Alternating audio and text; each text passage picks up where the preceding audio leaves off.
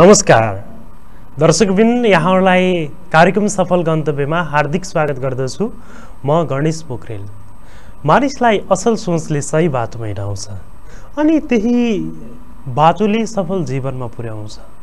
हो हामी शिक्षा क्षेत्रमा लागि पर्नुभएका विशेष व्यक्तित्वसँग कुराकानी गर्छौँ। विशेष गरेर शिक्षा क्षेत्रबाट एउटा सफलता प्राप्त गर्नको लागि यो बाटोलाई यो गन्तव्यलाई कसरी राम्रो बनाउन सकिन्छ? हो यिनै विषयमा हामी निरन्तर चिन्तन गर्दै आइरहेका छौँ छलफल गर्दै आइरहेका छौँ र आजको बसाइमा हामीसँग एकजना यस्तो व्यक्ति हुनुहुन्छ जसले शिक्षा क्षेत्रलाई निकै नजिकबाट निहालेर अध्ययन गर्नुभएको छ।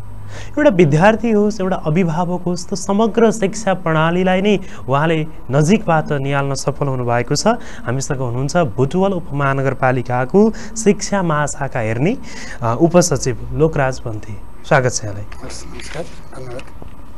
म सरसँगको यो अनुभवको हिसाबले पनि कुराकानीको आरम्भ गर्न चाहन्छु यहाँबाट। शिक्षामा तपाईँको विचारमा राज्यले के गर्यो र के गरेन? त्यसरी भन्दाखेरि शिक्षामा के गरे भन्दा राज्यले नेपालका सबै बालबालिकाहरूलाई अन्ठानब्बे दशमलव एक प्रतिशत बालबालिकाहरूलाई विद्यालय शिक्षाको पहुँचमा ल्याउन सक्यो। त्यो निकै ठुलो उपलब्धि हो भन्न सक्छ र शिक्षामा हामीले धेरै गरेको राम्रो काम मात्रको। र के गर्न सकेन भन्दा सर्ट इन्फर्ममा भन्दाखेरि सबै जुन विद्यार्थीहरू छन् हाम्रो विद्यालयमा प्रवेश गर्नुभएको छ उहाँहरूलाई विद्यालयमा भर्ना गरिसकेपछि टिकाइराख्न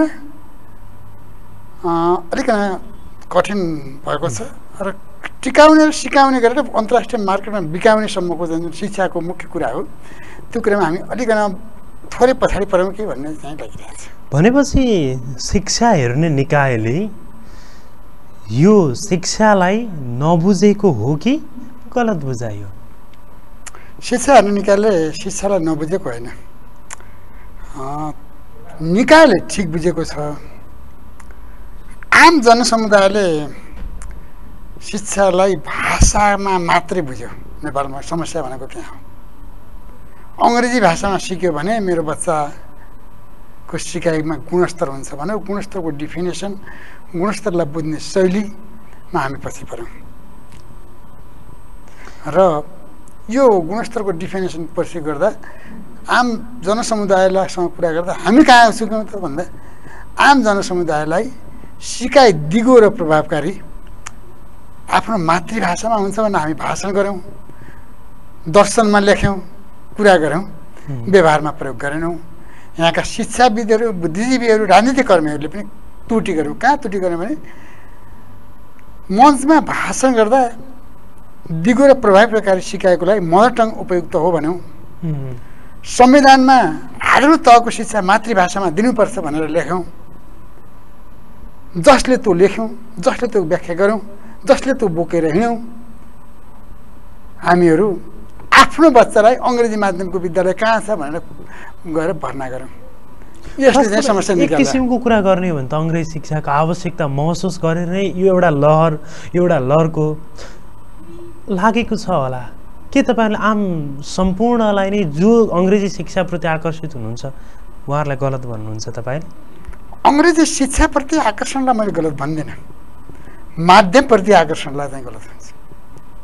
घरबाट नेपाली भाषा सिक्दै बाबा आमासँग बोल्दै गरेको बच्चाले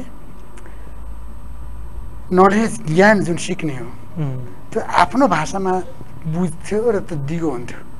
र अङ्ग्रेजी त उसले चाहिँ पछि अङ्ग्रेजी भाषा सिक्दै गर्दा पनि त्यहाँ पूर्ण गरिहाल्न सक्थ्यो। ठिकै छ त्यसो भए। अहिलेको शिक्षाबाट उत्पादित जनशक्तिले भोलि यो प्रणालीलाई के भन्ला? भोलि तपाईँको बच्चाले अहिलेको यो सिस्टमलाई के भन्ला? अब मेरो बच्चाले अहिलेको सिस्टमलाई के भन्ला भनेर हेर्दाखेरि शिक्षामा बिस्तारै आफ्नोपन मातृभाषामा शिक्षा नभएर दिगो नहुँदाखेरि होक्ने रट्ने र बाहिर जाने र छिटो बिर्सने गर्दाखेरि धेरै विद्यार्थीहरू नतिजामा राम्रो ल्याउने पेपर पेन्सिल टेस्टमा राम्रो ल्याउने तर जुन बिहेभियरल हो डब्लुबिसी भन्छ होल चाहिँ के मतलब बिहेभियर चेन्ज हुनुपर्छ एजुकेसन सम्पूर्ण पक्षमा चाहिँ व्यवहारमा परिवर्तन शिक्षा भनेको त्यो त्यहाँ चाहिँ हामी चुकिरहेका छौँ। र हामी त्यहाँ म त्यहाँ चुकेँ भन्ने अनुभूति गर्न सक्छ। हामी यस्तै रह्यो भने। त्यसैले अहिले चाहिँ के छ भने शिक्षालाई चाहिँ दुई पाटाबाट हेर्नुपर्छ। एउटा चाहिँ शिक्षा भनेको पेपर पेन्सिल टेस्टको मापनमा गरिने अङ्क मात्रै उपयुक्त होइन। शिक्षा त कस्तो हुनुपर्छ भने बच्चाले सिकेको ज्ञान सिप अभिवृद्धि जे हो। त्यसको रिफ्लेक्ट उसको बिहेभियर चेन्ज व्यवहारमा भने परिवर्तनमा देखिनुपर्छ। अब हाम्रो चाहिँ हामी चुकेको चाहिँ त्यही हो। हामी चुक्यौँ के भने एकजना बच्चाले मजाले लेख्छ के लेख्छ भने खाना खानु अगाडि अगाडि साबुन पानीले मिची मिची हात धुने स्टेपका छवटा स्टेपहरू दिएर लेख्न सक्छ। तर भात खान जानुभन्दा अगाडि ऊ चाहिँ भोक लाग्यो भने गएर सुरुक्क हात नदेखिन खान्छ। हामीले परीक्षामा क्वेसन सोध्छौँ बच्चाले लेख्छ पूर्णाङ्क पाउँछ उत्कृष्ट ठहराउँछौँ यो धेरै धेरै ट्यालेन्ट विद्यार्थी हो भन्छौँ।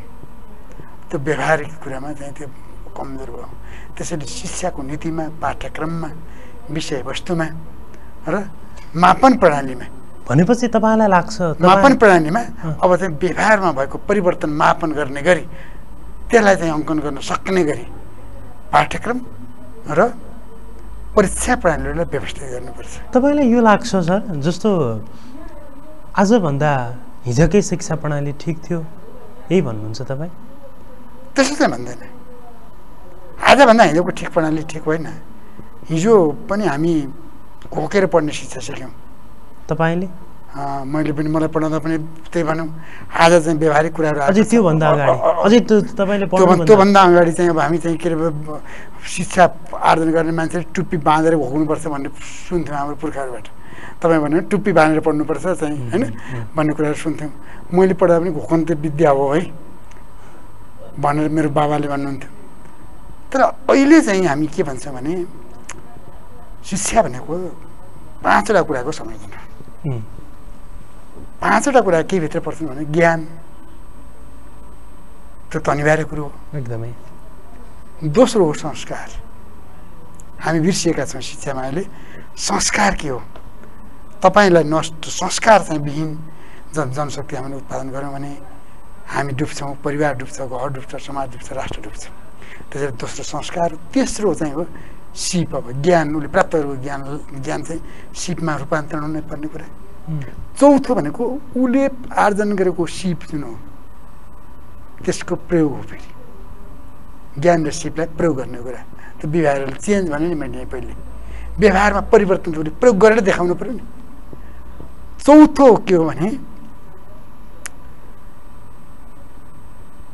त्यसको चाहिँ पाँच चौथो मैले प्रयोग भने पाँचौँ के हो भने परिवर्तन संरचनामा त्यसको चाहिँ सृजनात्मक प्रयोग हो फेरि। मैले किनभने म बच्चा थिएँ तपाईँ जस्तो तप अहिले तपाईँ हुनुहुन्छ तपाईँको उमेरमा मैले के गर्थेँ भने म गुल्मीमा हुर्केको मान्छे। राणा घडी निर्माण सेन्टर भन्ने एकजना राणा दाईले घडीको मर्मत गर्नुहुन्थ्यो र उहाँले जीविकोपार्जन गर्नुभएको थियो। म पोहोर साल गुल्मीमा गएको उहाँले त्यो आफ्नो समाजलाई त्यो घडी बनाउने मर्मत गर्ने सिपलाई विस्थापित गरेर अहिले मोबाइल मर्मत गर्नेमा परिणत हुनुभयो त्यो चाहियो समयअनुसार चाहिँ परिवर्तन उसले ज्ञान र सिपलाई चाहिँ समयअनुसार परिवर्तन गर्ने सृजनात्मक शक्ति चाहियो फेरि त्यहाँ सिर्जना आउँथ्यो। होइन? त्यसैले चाहिँ शिक्षामा मैले तपाईँसँग भने पाँचवटा कुरा।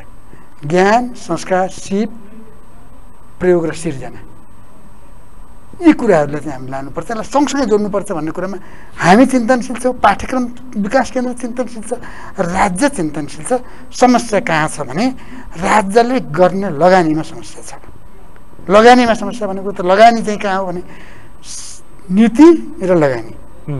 नीतिले आधारभूत तहको शिक्षा नि शुल्क र अनिवार्य भनेर नेपालको संविधानले भनेको छ। माध्यमिक तहको शिक्षा नि शुल्क भनेको छ। प्रयोगले के भनेको छ फेरि भने धेरै विद्यार्थीहरूलाई चाहिँ संस्थागत विद्यालयमा शुल्क तिरेर पढ्ने काम भयो सामुदायिक विद्यालयमा पनि केही? केही रूपमा अभिभावकबाट चन्दा नलिकन चाहिँ चलाउन नसक्ने अवस्था शिक्षक दरबन्दी दरबन्दी कक्षा कोठाको व्यवस्थापन फर्निचर व्यवस्थापन हामी उपयुक्त ढङ्गले गर्न सकेनौँ। त्यसैले बाटो र माटो बाहेक विकासका अन्य पक्षहरू पनि छन् भन्ने कुरा हामीले बुझ्नु जरुरी छ। जनप्रतिनिधिहरूले बुझ्नु जरुरी छ राजनीतिक कर्मीहरूले बुझ्नु जरुरी छ प्रशासकहरूले बुझ्नु जरुरी छ आम जनताले पनि बुझ्नु जरुरी छ। मैले किन भने भने शिक्षामा स्थानीय तहको चाहिँ चुनाव भइसकेपछि पनि शिक्षामा लगानी गर्दाखेरि त्यो योजनाहरूको छनौट गर्दा योजनाहरूको छनौट गर्दा स्थानीय तहले प्रत्येक टोल टोलबाट के योजना ल्याउँ भन्दा प्रत्येक ठाउँको योजनाको माग कहाँ आउँदो रहेछ भन्दाखेरि बाटोमा माटो हाल्ने त्यसलाई कालो पत्र गराउने फेरि नभए त्यसलाई उब्काउने फेरि कालो पत्र हाल्ने है? त्यहाँ मात्रै हाम्रो सोच पुग्दो रहेछ। जनप्रतिनिधि दबावमा पर्दछ। त्यसले के भयो भने उसले शिक्षामा सोचेर गएको छ। तर टोल पब्लिकबाट मागै आउँदैन त्यहाँ। र शिक्षाको भनेको त आजको भोलि देख्ने चित्त नै लामो पिरियड लिन्छ। त्यसबाट भने परिवर्तन। त्यसरी शिक्षामा लगानी बढाउने कुरामा हामी अलिकति चुकेको चुकेको कहाँ हो भने शिक्षामा लगानी। हिजो हामीले। बिस पर्सेन्ट लगानी बढाउनु पर्छ भनौँ। र कमिटमेन्ट गरेको छ राज्यले। दस पाँच दुई छ प्रतिशत चाहिँ अहिले चाहिँ के अरे मतलब सङ्घीय सरकारले गरेको प्रति लगानी छ भने स्थानीय तह छ त्योभन्दा त्यो बजेट बाहेक आफ्नो स्रोतको जुन अन्य चाहिँ जुन निशर्त अनुदान हो त्यो अनुदानको बजेटको चाहिँ चार पाँच पर्सेन्ट बुलमा लैजान पनि कठिन भएको छ। त्यसैले हामी त्यहाँ चाहिँ चुकिरहेका छौँ। म म एउटा कुरा पर्छु जस्तो जति पनि हामीले त्रुटि देखाउँछौँ नि जति पनि त्रुटि देखाउँछौँ तपाईँले आफ्नो अधिकार र जिम्मेवारीको क्षेत्रमा के त्यस्तो असल प्रयास गरे जस्तो लाग्छ? मैले त त्रुटि देखाउँदैन। मैले अर्कालाई दोष दिँदैन। त्यो कहाँ हो भने? मेरो जिम्मेवारी क्षेत्रमा मैले पहिला म आत्मालोचित हुनुपर्छ। उम्, शिक्षामा लगानीले दीर्घकालमा फाइदा पुर्याउँछ भन्नेमा जनचेतना दिने काम त हामी शिक्षामा काम गर्ने शिक्षाकर्मीहरूको नि? त्यो कर्मी त्यो त्यो आवाज त्यो आवाज जन जनमा पुर्याउन नसकेको त्यो हाम्रो कमजोरी हो। त्यो चाहिँ मेरो कमजोरी हो।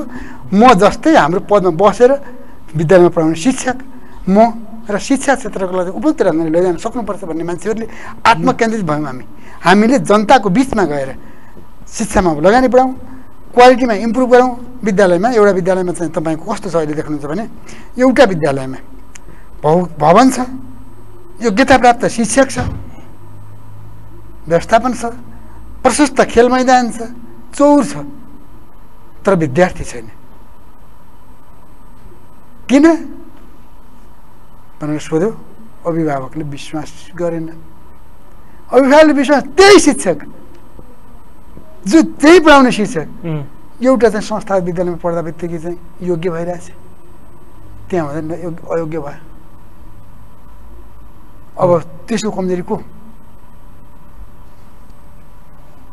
हामीले नीतिमा सुधार गऱ्यौँ अङ्ग्रेजी माध्यमको लोभ बनायौँ अङ्ग्रेजी माध्यमको लोभले गर्दा बच्चाहरूलाई संस्था विद्यालयमा गयो भनौँ यो अङ्ग्रेजी माध्यमबाट कक्षा एकदेखि नै इङ्ग्लिस मिडियमबाट विद्यालय सञ्चालन गर्न सकिनेछ भनेर भन्यौँ। कतिपय विद्यालय त्यसपछि भट्टापट्टि इङ्ग्लिस मिडियममा खुले। बुटलमा हेर्नु भने कालिका कान्ति शान्ति माविले अङ्ग्रेजी माध्यममा खुलेपछि विद्यार्थीको अलिकति भेल बढ्यो। चाप बढ्यो। चाप बढ्यो। अरू विद्यालयमा भयो। तर त्यहाँ समस्या छ फेरि। मैले आजभन्दा दस वर्ष अगाडि अङ्ग्रेजी माध्यममा खुल्यो। अभिभावकको चाहना बजार विद्यालय। अङ्ग्रेजी माध्यमको विद्यालयमा पुग्यौँ। विद्यार्थीको सिकावृत्तिको अवलोकन गर्दै गर्दा भेटाएँ के त भन्दा हिजो नेपालीमा हुँदा त शिक्षकले पनि नेपाली राम्रोसँग पढाउन सक्थ्यो बुझेर पढाउँथ्यो। विद्यार्थी पनि बुझेर पढ्थ्यो। अङ्ग्रेजी माध्यममा पढाउने न पढाउनेसँग क्यापेसिटी भयो न पढ्नेसँग क्यापेसिटी भयो। त्यसपछि शैक्षिक गुणस्तर झन् खस्कियो र एक दुई वर्षमा हामीले भन्यौँ यो भाषा ठुलो कुरो होइन। उसले सिक्ने महत्त्वपूर्ण कुरा हो। त्यसरी जुन भाषामा सिक्छ त्यो भाषामा तपाईँ सिकाउनुहोस्। यहाँनिर जस्तो तपाईँले भन्दै हुनुहुन्छ हामीले हामीले बुझाउन सकेनौँ हामीले जुन गर्नुपर्ने त्यो गर्न सकेनौँ भन्दै हुनुहुन्छ यो महसुस तपाईँले कसरी गर्नुभयो? आफूले गल्ती गरिरहेको छु भन्ने महसुस तपाईँले कसरी गर्नु? अब मैले गल्ती गरेको त भन्दिनँ। म सफल भइनँ भन्छु। गल्ती गर्ने भनेको त गल्ती कहाँ हुन्छ? प्रयत्न गर्न गर्ने गर्दा गल्ती हुन्छ। प्रयत्न गर्ने प्रयत्न गर्दा गर्दै सफल भएन भने त्यो चाहिँ गल्ती होइन म सफल हुन नसकेको चाहिँ मैले जुन एजेन्डा बोकेर गएको छु। समुदायमा बुझाउन सकेन बुझाउन सकेनमा ती केही त्यसका धेरै फ्याक्टरहरू हुन्छन् राष्ट्रिय अन्तर्राष्ट्रिय परिवेश हुन्छ कसले के गरिदियो भने सफल हुनु होला मैले के भने सर्वप्रथम एउटा विद्यालयहरूमा भौतिक संरचनामा हामी धेरै लाग्नु पर्दैन अहिलेको विकास भनेको भौतिक विकास शिक्षाको विकास भनेको भवन बन्ने फर्निचर बन्ने डेस्क बन्ने मात्रै होइन कक्षा कोठामा विद्यार्थीले सिक्ने वातावरण बनाउने महत्त्वपूर्ण कुरा हो। एकदमै। है? एकदमै। पढाउने हामी अहिलेसम्म के गर्नु पढायौँ सिकाएनौँ। सिक्नको लागि गरेर सिक्ने हुनुपर्छ क्रियाकलाप केन्द्रित सिकाइ हुनुपर्छ। होइन? विद्यार्थीलाई भट्टाउने भाषण मात्रै गर्ने। Telling is teaching listening is learning भन्दा अलि माथि उठेर एक्टिभिटी बेस टिचिङ लर्निङ प्रोसेसमा हामी गयौँ भने विद्यालयमा कहीँ सुधार हुन्छ एउटा विद्यालयमा सचेत अभिभावकहरू पस्ने गरौँ त्यहाँका कमी कमजोरी औनायो भने त्यहाँ सुधार हुन्छ। दोस्रो तेस्रो चाहिँ विद्यालयभित्रका समस्या के हुन् त्यसलाई केलाएर व्यवस्थापन समिति र स्थानीय सरकारहरूले त्यसलाई बुदागत रूपमा चाहिँ शिक्षा शाखामा ल्याएर यसो गरौँ भनेर सुझाव दिनुभयो भने त्यसलाई सुधार गर्न गर- परिन्छ चौथो पाँचौँ भनेको हरेक कुरालाई हामी प्लानिङ गरौँ योजना बनाऊँ एक्सनमा जाउँ प्रयोग गरौँ हेरौँ र सुधार गरौँ। त्यो गऱ्यौँ भने राम्रो गर्न सकिन्छ भन्ने मलाई विश्वास लाग्छ र म चाहिँ गर्न सकिन्छ भन्ने कुरामा म विश्वस्त चाहिँ छु। यो जस्तो एउटा योजना र प्रयास र हामी भन्छौँ सफल उन्मुख यो तिनवटा प्रणालीको कुरा गरिरहँदा अब भन्नुहोस् तपाईँ बुटवलमा रहँदा यहाँको शिक्षा तपाईँ यहाँ रहँदा भन्नुहोस् यहाँको शिक्षा कस्तो होला कस्तो बनाउनुहुन्छ? अधिकार स्थानीय तहले पनि धेरै कुरा लिइरहेको हामीले भुटेलमा म आइसकेपछि हामी तिन चारवटा कुराहरू गरेका छौँ। एउटा कुरा जुन विद्यालयले राम्रो नतिजा दिइरहनु भएको छ उहाँहरूलाई प्रोत्साहित गरेका छौँ। जस्तै? जस्तै कालिका र कान्ति माविले नेसन राष्ट्र टपे पाँच नम्बर प्रदेश टपे त्यहाँ विद्यालयलाई मात्रै प्रोत्साहित गरेनौँ हामी। शिक्षकहरूलाई सम्मान पनि गर्यो स्थानीय तहले। राम्रो काम। विद्यार्थीहरूलाई राम्रो सृजनात्मक काम गरे तपाईँको नवीन औद्योगिक माविको विद्यार्थीले रोबोट बनायो दुईजना बच्चाले। हामी जाँदा त्यो अलिकन सेपमा थिएन। त्यहाँ गयौँ बिचरालाई तिमीले यसलाई कम्तीमा मानव सेपमा तिमी लिइजाऊ यसलाई अलिकन देख्नको हेर्नको लागि पनि आकर्षक बनाऊ। भनौँ। ऊ बच्चाले के भने हामी धेरै काम गर्छौँ तल। यसमा चाहिँ लाग्ने लगानीले मलाई समस्या पार्यो अँ, र बुटुलपुर महानगरपालिकाले स्पष्ट के भन् गर्यो अहिले भने त्यो सुधार गर्नको लागि त्यो विद्यार्थीहरूको लागि व्यक्तिलाई पैसा दिएन। विद्यालय मार्फत त्यहाँ मात्रै खर्च गर्ने एक लाख अनुदान दिनुपर्छ भने अब हामी बच्चालाई पनि इन्करेज गर्ने काममा लाग्यौँ त्यसरी चाहिँ। क्षमता मान्छे भएका मान्छेहरूलाई स्रोत र साधनले उसको क्षमता चाहिँ कुण्ठित नहोस्। ठिक छ राम्रो प्रयास। होइन भन्ने कुरामा हामी प्रयास गरौँ र त्यो त्यो भूमिका हामीले निर्वाह गरौँ। हामीले मैना बजार प्राथमिक विद्यालयमा गयौँ। बच्चाहरू चाहिँ ड्रेस लाउन नसक्ने अवस्था छ।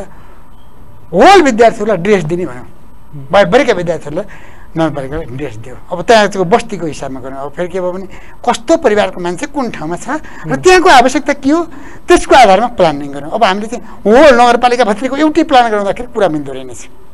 कालिका माविमा पढ्ने अभिभावक सक्षम छ उसले। उसले के गर्दैछ? महिनामा सात दुई हजार तिन हजार चार हजार मैले सामुदायिक विद्यालयमा पढाए पनि पैसा तिर्छु है। विद्यालय डोनेसन गर्छु। फिस होइन विद्यालय डोनेसन गर्छु भन्दो रहेछ। महिनाभर प्राथमिक पढाउने विद्यालय मावि प्राथमिक विद्यालय पढाउने कसै गरी मेरो बच्चाले चाहिँ यहाँ अलिकन भए पढ्न पाए हुन्थ्यो ड्रेस भ्यान लाउनु पाए हुन्थ्यो कापी भ्यान पाउनु पाए हुन्थ्यो भन्दो रहेछ। हामीले त्यसलाई एड्रेस गर्ने प्रयास गरौँ। त्यसैले विविधतालाई एकतामा परिणत गर्नेको लागि प्रयास गर्न गऱ्यौँ भने हामी त्यो काम गर्न सक्छौँ भन्ने कुरा। यो त भए प्रशंसा र हौसलाका कुरा। शैक्षिक गुणस्तर गुणस्तर बढाउन गरिएका प्रयास योजना र सम्भावना। शैक्षिक गुणस्तर बढाउन गरिएका प्रयासहरूका कुरा मैले शिक्षकहरूलाई प्रोत्साहन भनेको त शैक्षिक गुणस्तर बढाउनको लागि गरिएको दोस्रो हामीले शैक्षिक शिक्षामा एउटा कुरा भनेको छौँ एक विद्यालय एक शिक्षक एक दिन एक शैक्षिक सामग्री एउटा नारा बनाएको छ बुटुलमा महानगरपालिका म आएपछि म जुन विद्यालयमा गएको छु शिक्षक छात्रसँग बैठक गरेको छु उहाँहरूसँग भनेको छु मैले सुरुमै तपाईँलाई भने activity base teaching learning process होइन? टेलिङ र लिसनिङभन्दा माथि। त्यसको लागि चाहिँ त के हो? शैक्षिक सामग्री हो। शैक्षिक सामग्रीसँग बच्चाले खेल्दै त्यसलाई प्रयोग गर्दै सिक्नुपर्छ। त्यसको लागि सामग्री लैजाने पद्धतिको विकास। त्यो विकास गर्नको लागि के गर्ने?